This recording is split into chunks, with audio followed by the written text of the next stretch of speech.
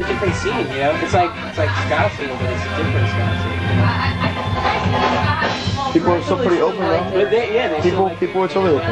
Yeah, like we can feel, we can feel as bad as we want, and, like get better, but it's still not a catastrophe until people liking it. really good too, but I just overplay. Like I get.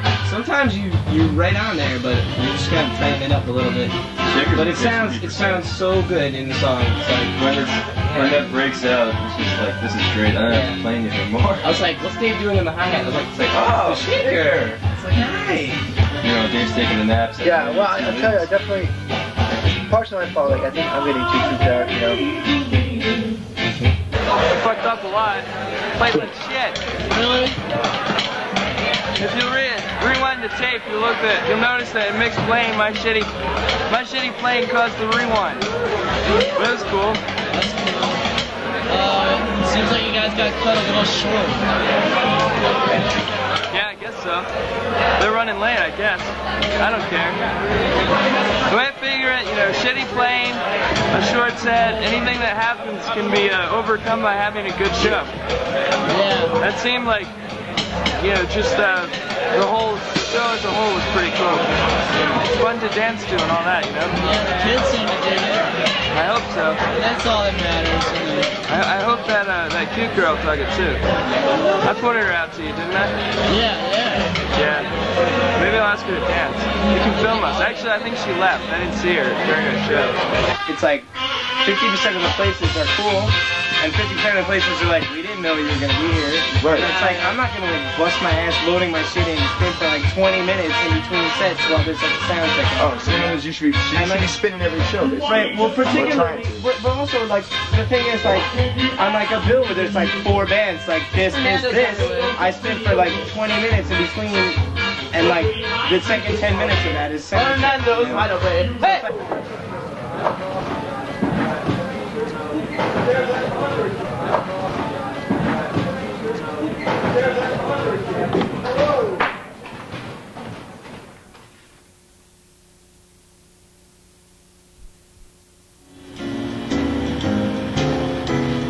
Bass, feel the bass response back here.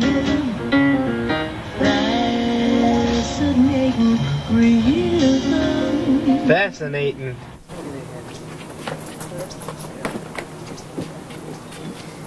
Now, how much way you want to flip it?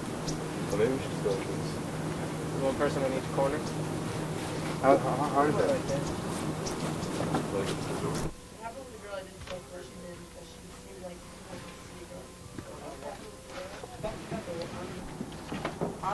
The Wonder Sound kit. You excited about the big radio show today, Isaac? No. Right. Okay. Cool. Sing the chorus, Peter. What is it?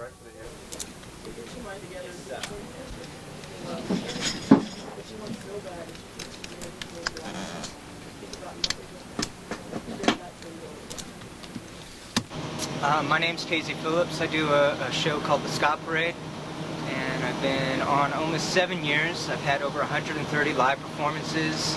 Had five hit songs stem from my little old program. All the it seems to be a beam of light. How about the Skalars? Have you heard a lot about them? Isaac Green and the Skalars. Yeah. Oh, of course. I've known Isaac Green. We we chatted on the internet, and it's it's sort of nice to actually see the bands who have been you know touring around, not making any money, you know, just doing it for the sheer love of it, um, actually be able to keep their artistic integrity at the highest level and be able to pay their rent at the same time. And and also the other thing is a lot of the musicians and bands don't want to play in their closet their whole lives, man. They don't want to be closet musicians. They want to get their music out to as many people as possible. But the, the thing is, as long as that they're able to to you know, as long as they aren't doing are change aren't changing their music to make money. It's like if you're able to keep your artistic integrity and able to make money, that's cool. But if you're if you're changing it to make money, that's not cool in my in my book. And in fact, there's a couple of ska bands out there today. I won't name names, but uh, who I just I just can't dig. I think, I think basically what you do is just concentrate a lot on the songs we play them, and also to realize, I mean, not to be egotistical, but we're really like the best ska band there is. You know. Yes. And then she Hands in the middle. so like really should remember that. Dumb. And uh, okay, I think we're gonna play. Oh wait, oh real quick. Also, hey everybody, stop, I'm as dumb as man. stop. Who's you? Let's vote. Who made you or don't count? Who made you? No, don't count. No. And now, live and direct once again, all the way from St. Louis, Isaac Green and the Skalars live and direct on this edition of the Ska Parade.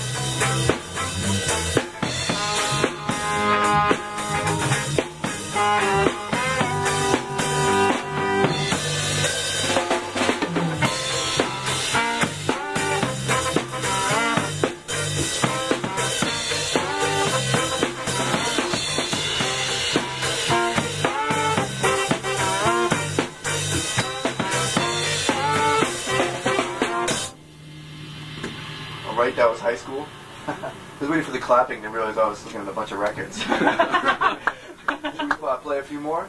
Yeah. Hey, how about you introduce us first? Oh, yeah, by the way, we are Isaac Green and the Skalars. We come from St. Louis. I mean by person. Get on the mic. Get on the mic. I Thank you.